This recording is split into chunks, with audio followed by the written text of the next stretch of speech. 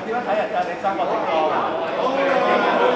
點樣睇李生嘅情況啊？啊，咁其實咧，我係作為基層社團嘅選委咧，我係對李生呢三大嘅施政理念同埋四大嘅政策綱要咧係非常之點讚嘅。佢第一條咧就已經係以提升政府嘅施政效能，係代表咗佢係改革政府一種決心同埋一種信心。咁啊之後咧，我哋見到啦喺我哋香港嘅歷來嘅一啲誒政策、房屋政策啊、安老政策啊、青年向上流動嘅一啲政策咧，佢都係有具體切實可行嘅一啲具體嘅措施，唔係一張空頭支票，唔係空中樓閣。佢係真正每一條咧都有佢具體嘅實施嘅措施。咁另外咧，亦都喺提升國際競爭力方面咧，無論係對外嘅連接，定係對外國際嘅影響咧，佢都係諗得好仔細。所以咧，我都希望咧，作為基層社團嘅代表咧，可以喺新一屆嘅政府正式成立之後咧，我哋都可以配合誒喺我哋新一屆嘅行政長官嘅帶領之下咧，可以開創新嘅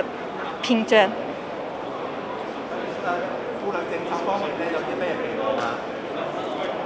其實咧，誒、呃、今次嘅四李生嘅四大政策綱要咧，就冇一個範疇係針對婦女嘅一個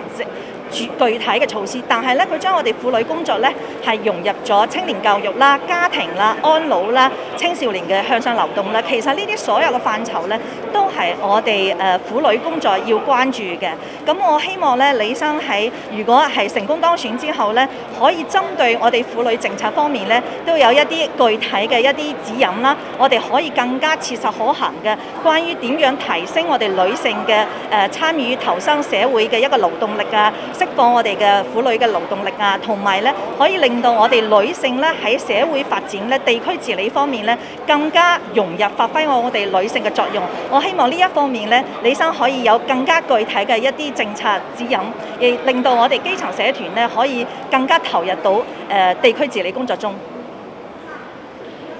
好，好，唔該晒，唔該晒。